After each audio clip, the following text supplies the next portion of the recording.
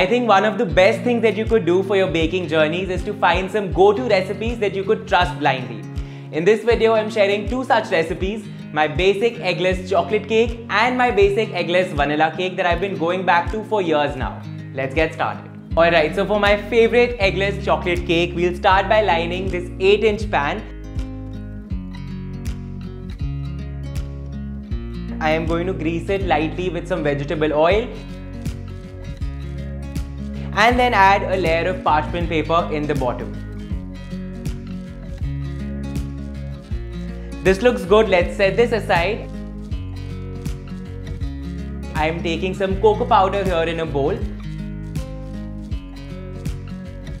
I also have some hot water in this jar. Into this I'm adding a tablespoon of coffee powder. Let's give this a quick mix and then pour it over our cocoa powder. Let's mix this until the cocoa powder and the hot water are nicely combined. So the coffee in this recipe really helps us to enhance the flavor of the chocolate. So I would highly recommend you use it, but in case you want to skip it, you could only use hot water or maybe even hot milk. Now into this I'm adding some sunflower oil. Please feel free to use any oil which has a neutral taste and smell, along with some superfine sugar. Let's give this a good mix so that the sugar begins to dissolve slightly in our batter.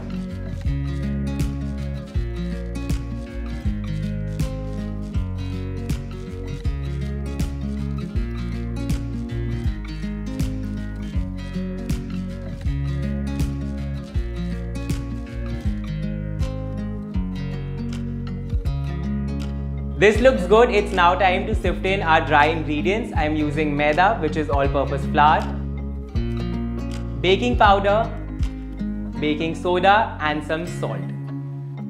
I always recommend sifting your dry ingredients whenever you're making an eggless cake. And it's now time to fold the dry ingredients into our wet mix, for which I'm going to use my spatula and mix only until I don't see any large flour pockets in my batter. If your batter is too lumpy, just use a balloon whisk to give it a quick mix and that'll help you get a smooth batter.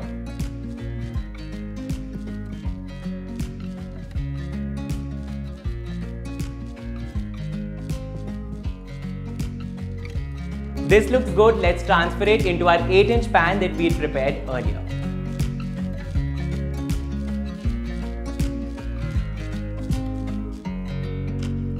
And our eggless chocolate cake is now ready for the oven. I'll be baking it in a preheated oven at 180 degrees Celsius for about 30 to 35 minutes or until a skewer inserted into the center comes out clean. My eggless chocolate cake is out of the oven Make sure you let it cool completely and also release the edges before you actually demold it.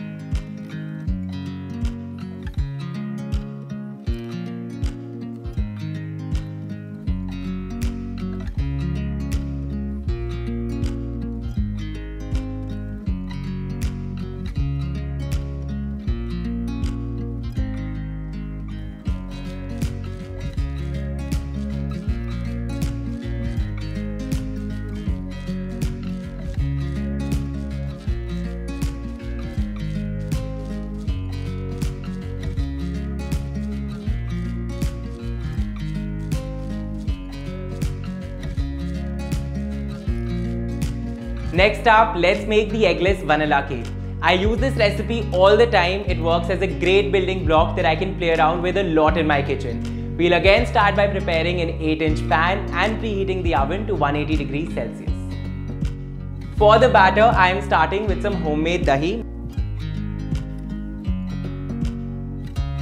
Two things to keep in mind here.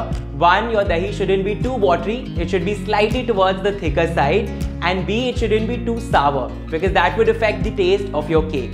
Into this, I am going to add half a teaspoon of baking soda.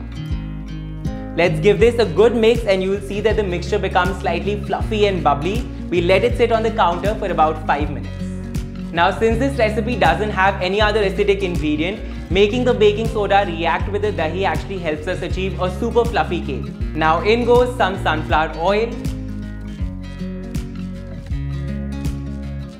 super fine sugar and some good quality vanilla extract.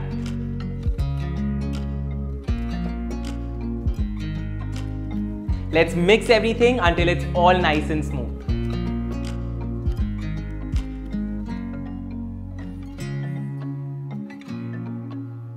Let's sift in the dry ingredients now. I am using some maida, baking powder and a pinch of salt.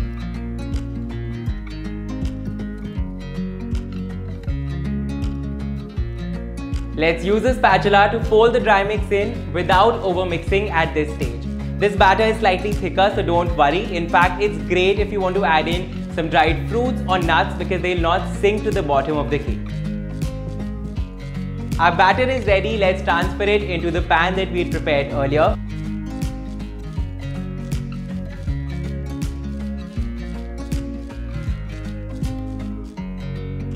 And since it's a thicker batter, you might need to use your spatula to spread it out evenly. This is ready for the oven again 180 degrees Celsius for about 30 to 35 minutes until a skewer inserted into the center comes out clean. Our vanilla cake is out of the oven and look at this beautiful golden brown color. I've let it cool completely and it's now time to demold it.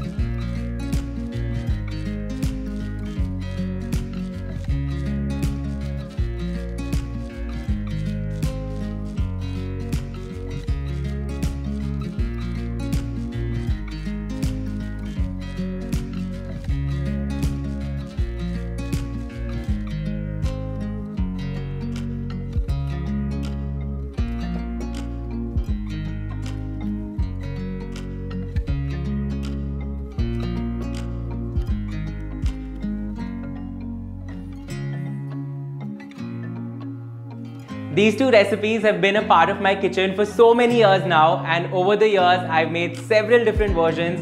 You could use these as tea cakes or even to make layered cakes.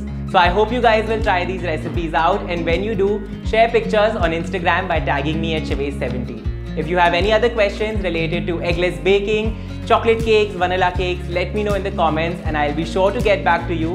And I'll see you guys next week with another recipe. Until then, happy baking.